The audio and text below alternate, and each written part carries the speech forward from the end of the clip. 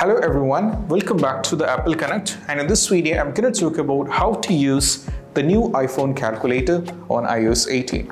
So to use it, it's like the previous one, but even though it's having a lot of features, what I have to say probably, so let's directly get into this. So first one, we just need to go over here in the delete this and we have to navigate to the calculator and this is how it looks like. So the first one, while looking at the end, this is how it looks like, just like the previous one, but even though it's having a lot of features. The first one is what about we can do the summation over here itself. For example, in the previous iOS 17, when we used to do the calculations, you know, when we type some kind of a numeric value like this, and when we add the plus, what happens is this used to get vanished and another value has to be pop up over there and we'll be getting the final result. But over here right now, as you can see, when we type 231 plus 265, all the values and numerics are being shown over here itself, just like a cool feature right now. And if you go over here in the equals over here, it's give the answer like this.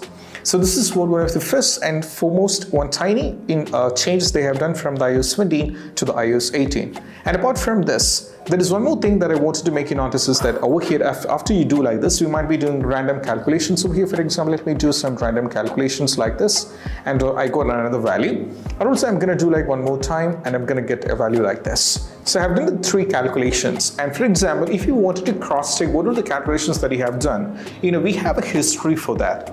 So over here, if you check at the top, at the top, there is a top left, there is an icon like this. If you tap on this one, you can see under the today, these are some of the calculations which I have done today. That is, you know, the, first, the last one we did, which got the answers of 327, then the previous one, 621 and 4, 496. So which is actually like, you know, you're getting a uh, search history, like, you know, the calculation history for the calculations you have done already. And you can uh, get, you can check it, cross check it whether if you wanted to or you have done any kind of mistake. And also if you wanted to remove these kind of things that is also possible, just go over here in the edit icon. And now over here, some of this is some of the calculations which I done long back. So I'm going to select these and I want to go for delete it. I can go for delete all so that the history is being deleted and it's all the calculations are completely gone.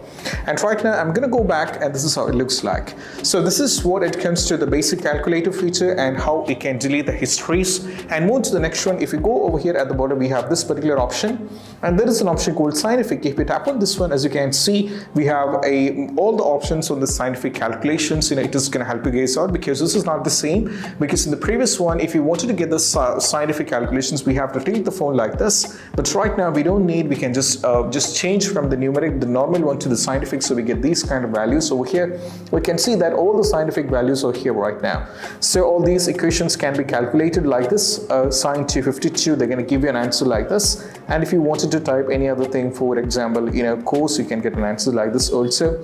So you will be getting all the answers over here as well. So we have all the uh, not only just a normal calculator but even though we are having the scientific calculator just adapter over here. And also moving to the third one we if it's a step over here. There is an option called Math Note which is actually written over here just tap on the Math Note.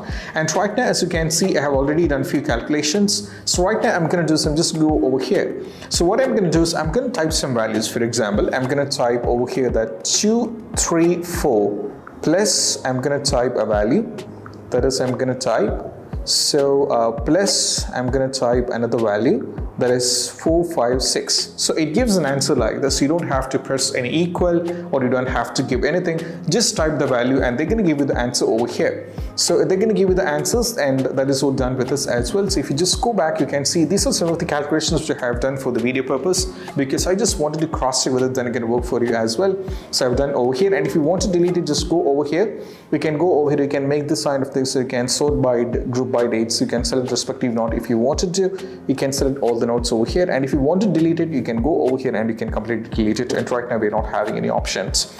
So just go on back to the basic and this is how it looks like when it comes to the calculator. So it's having a lot of features and it's kind of like you know uh, you know much advanced one what I have to see probably from the 17 to iOS 18 and I really like this. It's going to help a lot of users in all the way. And I really appreciate the feature which they have added over here. It's like you know we get a history of what we have calculated or the equations we have done or any calculations what we have done so far so you can cross check yourself over here. So i really appreciate apple for doing this and this is when it comes to how to use the calculator and i hope this video is helpful. And if you find this video helpful don't forget to subscribe and click on the bell icon for more these kind of videos. See you soon in the next video. Peace out. Bye bye